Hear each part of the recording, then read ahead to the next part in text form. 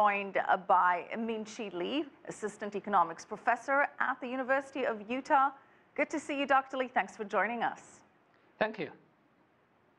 Dr. Li, currently nuclear energy accounts for less than 3% of China's total power generation. Last year, mm -hmm. China did not approve a single new nuclear power project, but that is about to change in a big way. The China Nuclear Energy Society says eight new nuclear reactors will begin operation this year. And if that does happen, it will mark the largest single year increase in nuclear power production in China's history. So why does all of a sudden the government want to boost nuclear energy growth so drastically? Well, we know that China's economic growth has been very energy intensive, and in fact, China is the world's largest energy consumer as well as the largest greenhouse gas emitter, accounting for more than a quarter of global emissions. And so Chinese government has been working hard to reduce the energy intensity of the Chinese economy. But even with that, China's energy use probably will double between now and 2050. But on the other hand, China also wants to reduce environmental consequences to meet its climate stabilization obligation. And so China wants to rely more upon uh, nuclear as well as renewable energies. Well, Professor Li, I get it that uh, China is in need of energy. There's the emission issue. But keeping in mind that oil prices have stabilized at historic lows, natural gas is becoming more prolific and certainly cheaper. Does shifting to nuclear power make sense both in China and abroad, especially given the dangers? Well, in that case, I guess the cheap natural gas price is primarily a local U.S. situation. Uh, so natural gas is not exactly a global commodity. So the international gas price is about two or three times higher than the US level.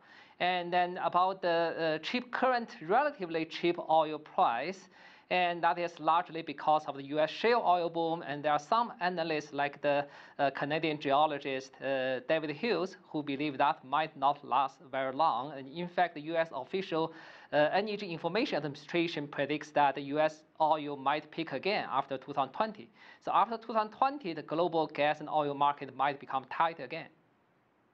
All right, so let's assume that 2020 oil and gas are expensive again. But here's the thing with nuclear power, Professor Li. When things go wrong, they go wrong in a big way, like the Fukushima disaster in Japan. And of course, there are many safety concerns as well as public fears. And there's usually community resistance. People say, hey, build a nuclear power plant, but nowhere near me. So how can that perception, that obstacle be overcome? Well, uh, you are very right. And uh, so the safety concern is a serious obstacle. And we know that there was a major uh, nuclear accident in the States, in the United States in the 1970s.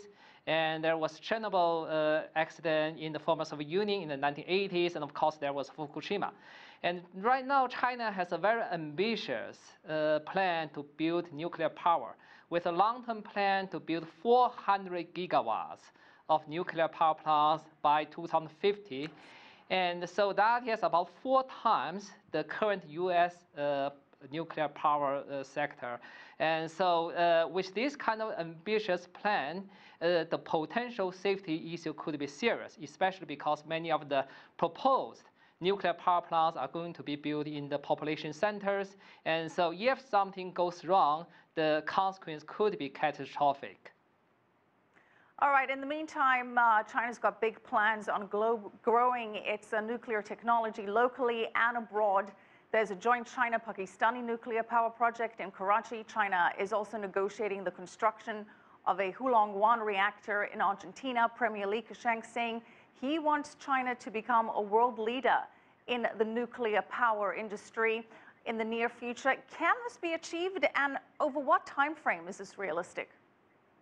Well, uh, I think this is an interesting development. But on the other hand, the international nu nuclear market is not that large. So outside China, uh, the annual building rate may be just something like a few gigawatts a year. And then by comparison, say if we talk about solar and wind market, uh, now it's on the order of 100 gigawatts annually.